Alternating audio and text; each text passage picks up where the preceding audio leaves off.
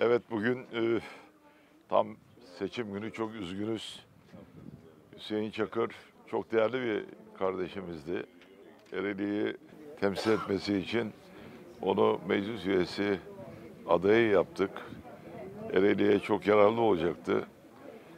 Demokrasiye aşık bir insandı. Atatürkçü, demokrat bir insandı. Demokrasinin yapamayacağı hiçbir şey olmayan çok değerli bir kardeşimizdi. Büyük bir şevkle seçim öncesinde birlikte çalışmalar yaptık. Çok da başarılıydı. Bugünkü heyecanla sandıkların başına geçtik.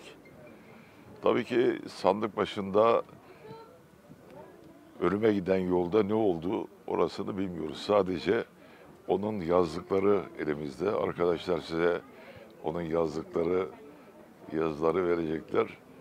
Sadece söylediği buraya öbek öbek polisler geliyor, oy kullanıyorlar.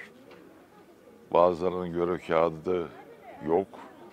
Görev kağıdı olanları da sorgulayamıyor, sorgulamıyorlar şeklinde ifadeleri vardı.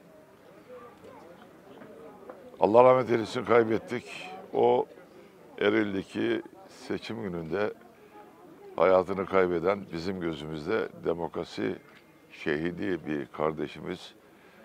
Allah nur içerisinde yatırsın. Onun bıraktığı anıları Eril'de her zaman yaşatacağız. Ailesine başsağlığı diliyorum. Yakınlarına, dostlarına sabırlar diliyorum. Bütün sandık kurulu başlarındaki arkadaşlara, görevli arkadaşlara, sayımlarda görevli arkadaşlara üzüntüyü bırakmamız gerektiğini ifade ediyorum. İşte sıkıntıları görüyorsunuz hep beraber. Sandıkların başında daha ciddi, daha sıkı görev yaptığınız takdirde Hüseyin bana göre bıraktığı vasiyeti yerine getirmiş olacaksınız.